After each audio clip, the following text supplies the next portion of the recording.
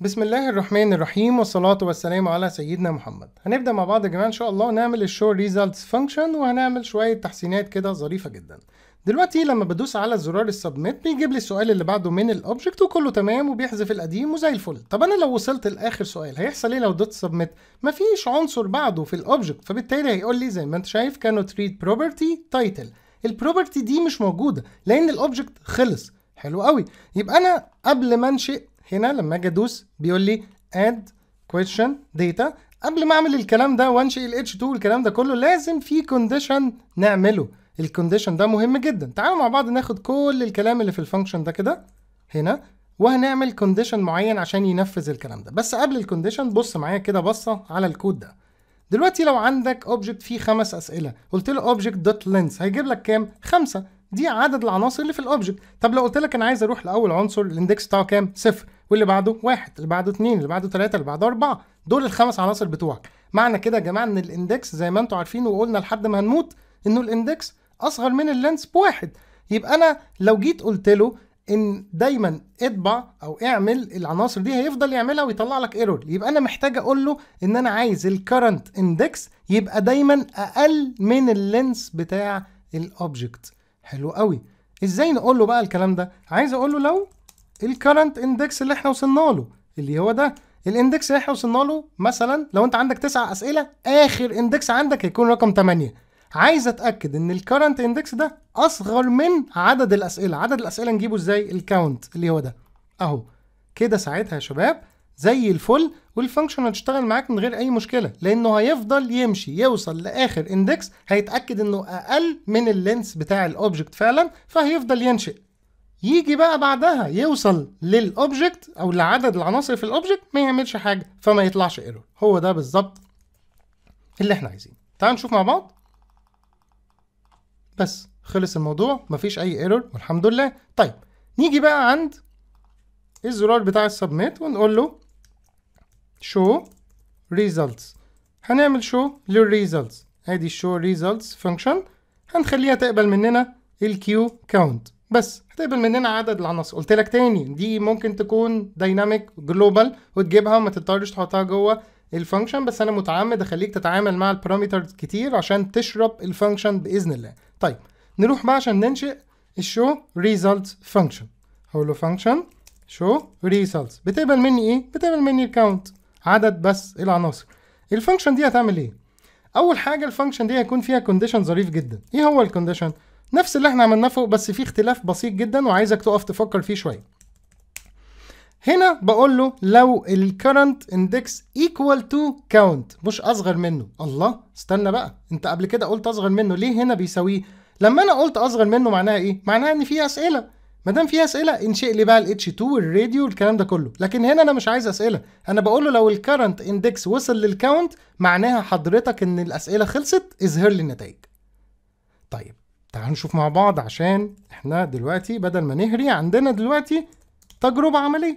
هكتب لك هنا questions is finished. Finished دي هتطلع إمتى؟ هتطلع لما أنت تخلص آخر index بعد آخر index هتلاقي نفسك وصلت لعدد الأسئلة فيقول له question is finished. ساعتها نظهر النتائج. تعالوا مع بعض نشوف. أدي آخر واحد. بصوا. question is finished. خلصنا. لكن أنا لو قلت له أقل منه هيفضل يطلعها لي والأسئلة موجودة وأول ما الأسئلة تخلص مش هيطلع حاجة. يبقى أنا كده عرفت إمتى آخر سبميت تداس عليها تعمل لي المطلوب ده بالظبط. الحمد لله وزي الفل والكونديشن ده هنعمل فيه الشغل بتاعنا كله. أول حاجة خلينا نعمل variable كده على مستوى ال scope بتاع ال function نسميه the result أو the results مثلا. بعدين هن override ال value بتاعته بعدين. أول حاجة خلينا بقى نعمل كده شوية شغل حلو إن إحنا مثلا تعالى نجيب ال quiz area أو خلينا نشوف آخر حاجة إيه اللي فاضل عندنا ما اتحذفش هنا. واحدة واحدة بس. ال quiz info ال quiz area أول حاجة محتاجينها الكويز اريا دوت ريموف هنريموف الكلام ده من ال DOM. حلو قوي إيه تاني؟ ال answers area هي كمان مش عايزينها. ريموف من الدوم. انسرز اريا هي كمان دوت ريموف. هنشيل بقى كل حاجة بس إحنا هنعرض النتائج يعني خلاص مفيش مشكلة. ال submit button مع السلامة وكمان مش عايزينه. هاجي بعدها آدي ال submit button dot remove في حاجة تاني عايزها؟ يلا بينا ال bullets بالمرة نشيلها. طيب هل ال bullets إحنا اخترناها قبل كده؟ خلينا نشوف فوق خالص. هنا ما عندناش غير ال bullets span container ال bullets نفسها ما اخترناش. ممكن نقول له let bullets element أو مثلا bullets بس كفاية مفيش مشكلة خالص. بتساوي document dot query selector وبعدين نحط ال bullets بالشكل ده. طبعا ممكن تخليها قبل ال container بالشكل ده عشان تبقى دي bullets ودي bullets span container كده يعني more logical يعني فننزل تحت شوية وبعدين نقول له إن أنا كمان عايز أشيل البوليتس دوت ريموف يبقى إحنا كده شلنا كله زي الفل وما عندناش حاجة كده باقية وكله تمام. تعال نشوف مع بعض نوصل للآخر. كله تمام الحمد لله. ما فضلش عندنا طبعا غير ال results ونبدأ بقى ننسقها ونعمل فيها اللي إحنا عايزينه مفيش مشكلة خالص. طيب حلو قوي الكلام ده. هنجيب بقى ال results منين؟ أول حاجة إحنا محتاجين نعمل زي حاجة logically كده إن مثلا عدد الأسئلة لو عدت مثلا النص تديله حاجة ولو مثلا أقل من نص تديله حاجة ولو مثلا الأسئلة كاملة تديله حاجة تانية. طيب خلينا نبدأ مثلا بأن الأسئلة أكبر من النص وأصغر من ال perfect اللي هي آخر حاجة خالص. طيب تعالوا مع بعض كده نقول له لو. الأسئلة دي أنت جبتها منين؟ يعني ال answers الصحيحة جبتها منين؟ مسجلينها إحنا يا جماعة في ال right answers اللي هي كل مرة ما الشخص بيزيد بي بيجاوب صح بتزيد واحد. فاقول له لو ال right answers أكبر من هنا. ال count اللي هو عدد الأسئلة بتاعتنا مقسوم على اتنين اللي هو نص الأسئلة. اللي هو أربعة ونص مثلا لو عشر أسئلة يبقى خمسة. لو أكبر من خمسة and ال right answers بتاعتنا أصغر من ال count نفسه بقى يعني معناها كده لو عندي عشر أسئلة بقول له إن الأسئلة اللي اتجاوبت صح أكبر من النص اللي هو أكبر من خمسة وأصغر من عشرة عشان عشرة دي ليها rank تاني خالص. هيحصل إيه ساعتها؟ هقول له إنه ال results دي بتساوي وبعدين خلينا نديله كده رسالة حلوة.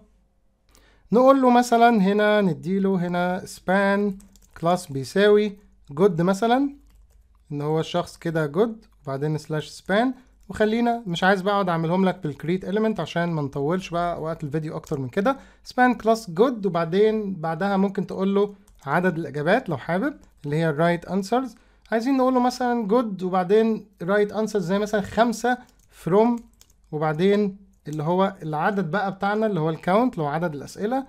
ممكن نقول له مثلا خمسة من عشرة is good أو is good answer أو is right answer. مفيش مشكلة خالص من الكلام ده طبعا. أنا بس بوري لك الفكرة مش أكتر. طيب لو بقى الشخص المفروض أدي else if لو بقى الشخص جاوب الأسئلة كلها صح إزاي هيجاوبها كلها صح؟ إنه ال right answers equal to count. يعني ال right answers يا جماعة اللي هو جاوبها كلها عشرة وعدد الأسئلة عشرة معناها بقى إن أنا هكتب له كلمة perfect دلوقتي. فهقول له مثلا span class perfect مثلا وهكتب له هنا كلمة perfect. وممكن ما نحتاجش بقى نقول له كام من كام خلاص هقول له all answers is good. أو all answers ماشي all answers is good. هي بتأدي نفس الفكرة. غير كده بقى غير كده هيحصل إيه؟ غير كده يا جماعة معناها إن هو الأسئلة بتاعته أو الإجابات بتاعته أقل من النص. هتكتب له بقى bad أو لو أنت مش عاجبك كلمة bad حط أي حاجة مفيش مشكلة خالص. وهنا هقول له انه بعدها على طول انت جاوبت كام من كام والكلام اللي إحنا عملناه من شوية. نفسه بالظبط مفيش مشكلة اللي هو ده. فهقول له مثلا إن أنت جاوبت عدد الأسئلة أربعة من خمسة is good. طيب كده إحنا خلصنا ال results والحمد لله وفاضل إن إحنا نحط ال results ده في مكان معين. المكان ده اللي هو إيه؟ لو جينا هنا هتلاقي عندك أنت هنا ال results دي هنشيل منها الكلام ده خلاص. مش عايزينه إحنا قلنا إن إحنا هنعمل كل حاجة dynamic وهنيجي عند ال results ده عشان نختاره بال JS هنا وهقول له مثلا let ممكن نسميه إيه؟ the results container أو results container بيساوي document dot query selector وادي ال results element بتاعي هستعمله تحت خالص هنا. هقول له بعد ما اخلص خالص كل ده جوه ال if condition طبعا. ال results container dot inner html بيساوي ال results اللي هتطلع لي دي. دي أول حاجة طبعا هنعملها وممكن ننسقه ونعمل فيه شوية شغل بس خلينا نشوف كده أهو. كتب لي bad 0 from 9 is good. 0 from 9 ممكن على فكرة بلاش كلمة is good دي عشان ما تلخبطش حد. هو كفاية جدا تقول له إن الأسئلة اللي اتجاوبت كذا من كذا. حلو قوي عشان تتعلم برضو إن أنت تنسق بال JavaScript لو حابب عشان برضو تبقى عندك ال- الخلفية تعمل كل حاجة. لو عايز مثلا أغير ال padding هقول له style dot padding ال padding مثلا أنت عايز تخليه كام؟ مثلا 10 بكسل عايزين نغير مثلا ال background color هقول له background color نخلي ال background color مثلا white ممكن نعمل إيه تاني؟ خلينا مثلا نقول له أدي white خلينا نقول له ال style dot margin top 10 بكسل بالشكل ده. يبقى كده عندنا ال result خلينا نشوف كلمة perfect كده عشان تبقى ظريفة. دي الإجابة السليمة. ال image لل anchor tag بس اللي هي دي. بعدين ال bold كل الحاجات دي بتعمل bold عادي. دي ال- كل البنيات دي غلط. بعد كده هنا هنستخدم ال iframe العناصر اللي مش موجودة كل ده موجود في ال HTML آه ال doctype دي سليمة. بعدين ال element اللي not exist في ال HTML5 في ال blockquote هنا إزاي نحط ال attribute كل الطرق دي صح. كتب لي هنا perfect all answers is good. كده يا جماعة الحمد لله ظبطنا الدنيا فاضل لنا بس ال countdown وشوية طبعا تحسينات. يا رب يا جماعة الدرس يكون بسيط وسهل وعجبكم وأشوفكم إن شاء الله في درس جديد والسلام عليكم.